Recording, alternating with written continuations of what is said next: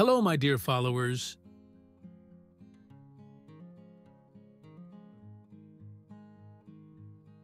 Sure. Here's the translation. Today, I will provide information about radio buttons. Here's a more detailed explanation in English. This code defines a group of radio buttons styled to represent different modes of transportation. Walk, bike, drive, and fly. The overall structure is enclosed within a container with the class container, which organizes the layout. Each individual radio button is wrapped inside a div with the class input container to group the input element with its associated visual elements. For each option, the input element of type radio is paired with a corresponding div that has the class radio tile. Inside this tile, there is an ion icon element that visually represents the transportation mode. The label element provides a clear and descriptive text for each option, improving both accessibility and usability.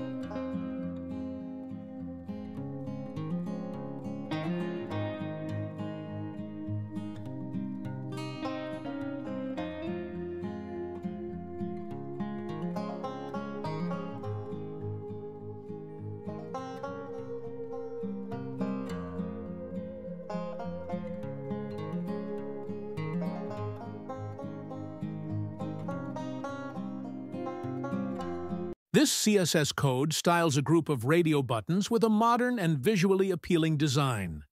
Global settings include applying the box sizing border box property to all elements to ensure consistent sizing and a sans serif font for the text. The container class creates a flexbox container that centers its content both vertically and horizontally within the viewport. With a height of 100% of the view height that the radio buttons are laid out in a flexible grid, wrapping onto new lines if necessary, and centering the items. The radio tile class styles the container for the icon and label, creating a visually distinct tile with a border color based on primary color, rounded corners, and a smooth transition effect.